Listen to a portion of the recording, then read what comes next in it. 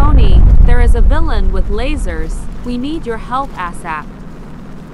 Uh, another one. I better catch this idiot.